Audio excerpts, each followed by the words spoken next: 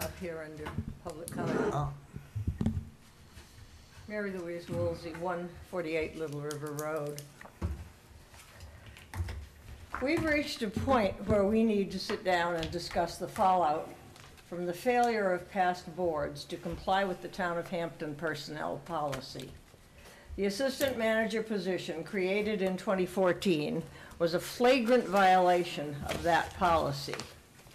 That position, created by the Board of Selectmen, friends of form, former Chief Sullivan, has resulted in the illegal expenditure of over $360,000 for a 32-hour work week new position.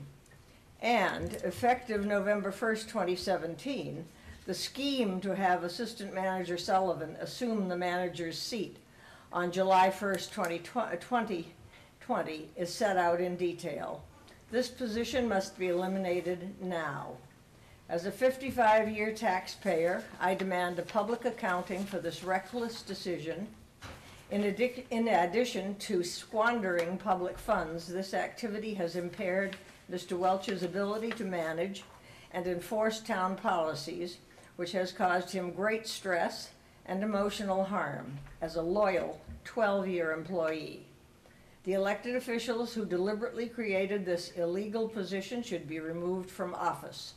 The three illegal uh, contracts executed in November 2017, which addressed the manager's office from 11/117 to 6/30/22, must be declared null and void, with a new legal exclusive contract for Mr. Welch immediately. This can't go on ladies and gentlemen, and the, all, all around town, people are very upset. anyone else wishing to speak?